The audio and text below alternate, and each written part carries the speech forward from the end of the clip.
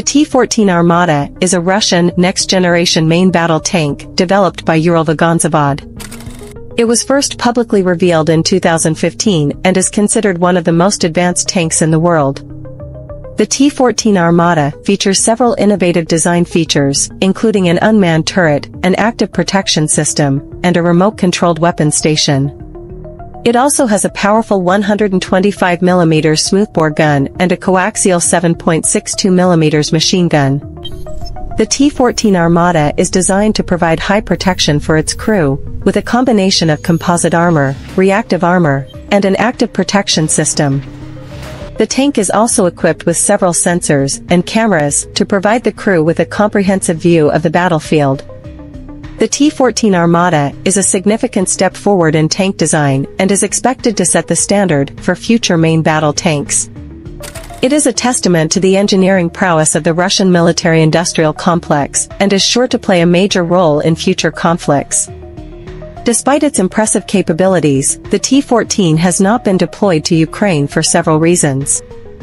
1. Technical complexity. The T-14 Armata incorporates numerous cutting-edge technologies, including an unmanned turret, advanced armor, and a sophisticated fire control system that have not been fully tested or proven in combat.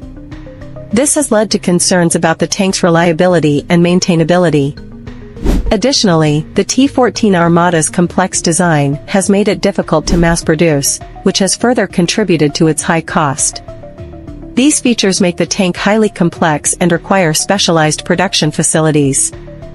In 2019, the tank entered a crucial development phase as it underwent a series of rigorous preliminary tests. These tests were vital in assessing the tank's performance, durability, and readiness for future deployment. The limited utilization of these tanks could be attributed to the concern that Russia, aware of the sensitive technologies likely integrated into its next-generation tank, would aim to prevent its potential capture by Ukrainian forces in case of direct engagement. In addition, the exact number of T-14s in Russia's possession remains unclear, making it uncertain if there are enough of these main battle tanks to influence the battlefield significantly. 2. High production cost. One of the main problems with the T-14 Armata is its high production cost.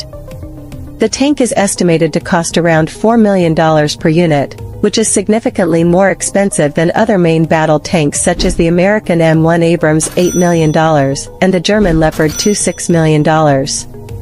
This high cost is due to the T-14 Armata's advanced features, such as its unmanned turret, active protection system, and advanced composite armor. The T-14 Armata is a highly sophisticated and technologically advanced tank, which makes it expensive to produce.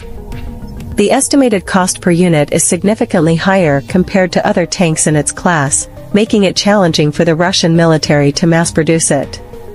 However, the ongoing delays in initiating large-scale production of this tank present a substantial challenge for Russia. Nevertheless, with the announced exhibition demonstration of the tank, Moscow may strategically aim to attract potential customers who can shoulder the production costs. 3. Shifting priorities. The Russian military has been prioritizing other modernization programs, such as upgrading existing tanks and developing new weapons systems. This has resulted in the T-14 Armata project receiving less attention and funding, further limiting its production. Russia's military is undergoing a significant shift in priorities, moving away from traditional large-scale conflicts and towards smaller, more agile operations. This change is being driven by several factors, including the increasing cost of modern warfare, the rise of asymmetric threats, and the need to maintain a credible deterrent against potential adversaries. One of the most visible aspects of this shift is the reduction in the size of the Russian military. In 2008, the Russian military had over 1 million active duty personnel. By 2018, that number had dropped to around 790,000. This reduction has been accompanied by a shift in focus from large, mechanized formations to smaller, more flexible units that are better suited to modern combat. Another important aspect of Russia's military shift is the increasing emphasis on asymmetric warfare. This includes the use of cyber warfare, electronic warfare, and other non-traditional tactics to disrupt an enemy's ability to fight. Russia has also been developing new weapons systems, such as hypersonic missiles, that can evade traditional defenses. 4. Economic challenges. Russia's economy has faced challenges in recent years, including sanctions fluctuations in oil prices, and a weak business environment. The Russian economy has been in recession since 2014, and this has made it difficult for the Russian government to fund the T-14 Armata project. These economic constraints have impacted defense spending, making it difficult for the Russian military to allocate sufficient funds for the mass production of the T-14 Armata, which has also been the victim of political interference. The project has been championed by Russian President Vladimir Putin, who has made it a priority to modernize the Russian military. However, this has also led to a lot of micromanagement from the Kremlin, which has slowed down the development process.